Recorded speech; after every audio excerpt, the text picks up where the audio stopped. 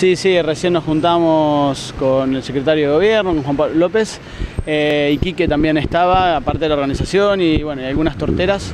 Eh, y dan lluvia mañana, unos 30 milímetros, y también el domingo, así que ya si llueve mañana el predio no, no va a estar en condiciones. Y bueno, más de uno sabe que esta fiesta es así, con, con esas características y que ya se ha suspendido hasta seis veces. Así que sí, se acaba de tomar la decisión de, de postergarla para la semana que viene.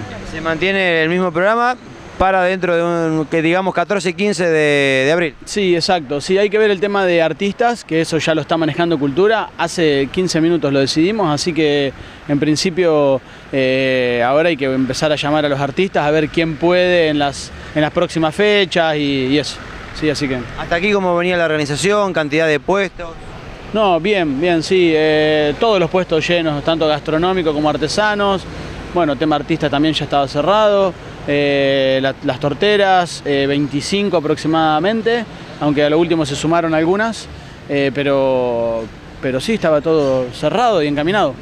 La, la idea es siempre mantener la realización dentro del Parque Municipal Independencia. Sí, sí, sí. Sí, sí. En realidad el intendente ya desde la primera edición que tuvo esta gestión eh, puso énfasis en eso, que, que a él personalmente le gusta el parque y la verdad que todos compartimos. Eh, es algo más tradicional, está la famosa tapera ahí cerca donde se derrite la grasa hace una semana que están haciendo el trabajo eh, o más. Y, mm, y bueno, así que sí, por ahora sí, yo creo que el predio está bien. Eh, el tema es, bueno, ver si se sigue así.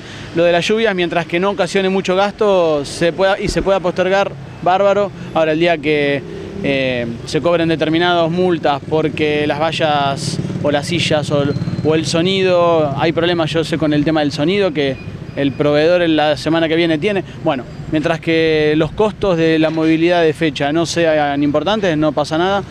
Y el día de mañana, si esos costos aparecen o, o se aumentan, eh, bueno, sí, por ahí hay que analizar otra, otra alternativa. Igual, si llueve un viernes, el Martín Rodríguez el sábado podés usar solamente la parte del playón nada más.